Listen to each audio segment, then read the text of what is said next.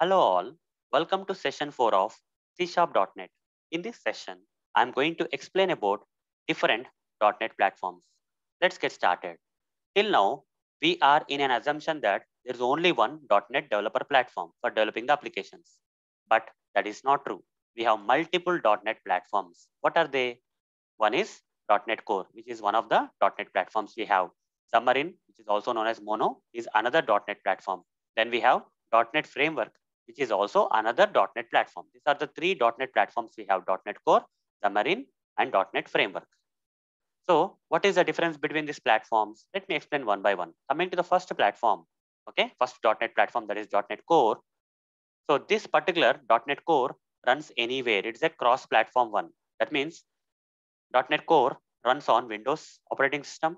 .NET Core also runs on Mac operating system. That means we can develop the applications on Windows using .NET Core .NET platform, right? On Mac, the Mac operating system also we can build the applications, develop the applications with the help of .NET Core and Linux operating system also we can use .NET Core for developing the applications, okay?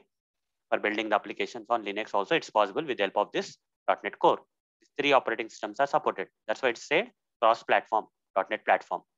Now coming to the second one, that is Xamarin, which is also known as Mono, is another .NET platform we have, which supports mobile. Okay, this runs on mobile guys. Okay, we can build applications on mobile with the help of this Xamarin or Mono. Coming to the last one, last .NET platform, .NET Framework. Okay, this only runs on Windows. Okay, if you want to build applications only on Windows, you don't want to go for Mac Linux, then .NET Framework is enough. Okay, so nowadays a lot of people are using .NET Core guys. Okay, because of its uh, more advantages over the other things, the platform advantages. People are moving to migrating to .NET Core from .NET Framework. Okay, earlier .NET Framework was kind of famous. Now people are slowly migrating to .NET Core.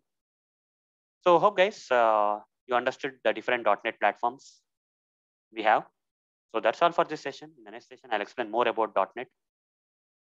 So that's all guys. Thank you. Bye.